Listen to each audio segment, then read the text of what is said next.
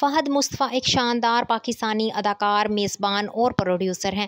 ان کی بہت شاندار فین فالوئنگ ہے اس کے تین اشاریہ ایک ملین انسٹاگرام فالورز دو اشاریہ چھ ملین ایکس فالورز اور تقریباً دو ملین فیس بک فالورز ہیں۔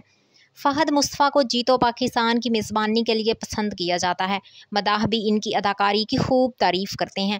ان کے قابل ذکر ڈراموں میں عبدالقادر ہوں دوسری بیوی میں چاند سی مسوری میرا سائیں اشتی کنکر اور دیگر شامل ہیں ان کی ہٹ فلموں میں نامعلوم افراد ون اور ٹو شامل ہیں لارڈ ویڈنگ اور ایکٹر ان لا شامل ہیں حال ہی میں شائقین ڈرامہ سیریل کبھی میں کبھی تم میں فہد مصطفیٰ کی بطور اداکار تعریف کر رہے ہیں وہ ایک گیمر کا کردار ادا کر رہا ہے مداح ان کی اداکاری اور ہانیہ عامر کے ساتھ جوڑی کو بہت پسند کر رہے ہیں آج کل فہد، مصطفیٰ اٹلی میں اپنی فیملی کے ساتھ بہت اچھا وقت گزار رہے ہیں۔